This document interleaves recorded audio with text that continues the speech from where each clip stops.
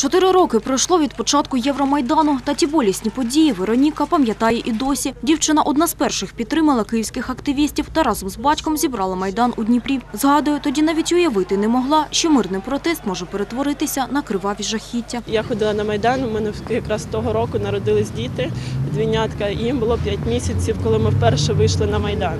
От вчора їм було 4 роки, 5 місяців, і якраз так все згадалось. І я з такою великою коляскою я йшла на майдан з дітьми кожного дня. Тобто я не те, що не очікувала там небезпеки, я взагалі не думала, що щось може бути.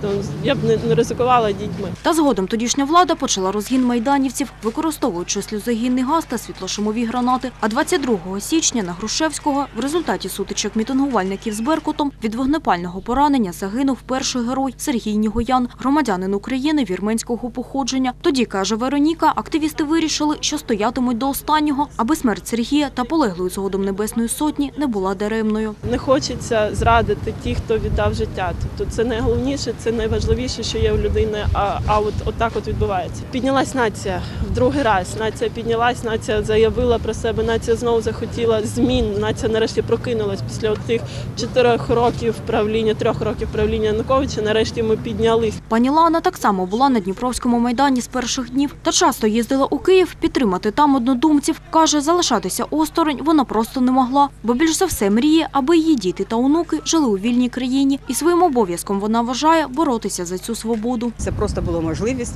відстояти свої права, показати, що ми є, що ми прагнемо е, європейського. Хочемо, щоб в Україні в нас був так би мовити український напрямок європейський в розвитку України. Е, Ми хотіли, щоб у нас реально е, були порядні люди при владі, щоб е, в нас життя змінилося на краще в країні. Для Лани боротьба за свободу продовжується і досі. Нині жінка допомагає бійцям у госпіталі та вірить, що разом ми виберемо свободу. все одно ми переможемо і тут, в Дніпрі, і в Києві. І головне, перемога наша колись буде там на сході, і Крим буде наш. Він і так наш.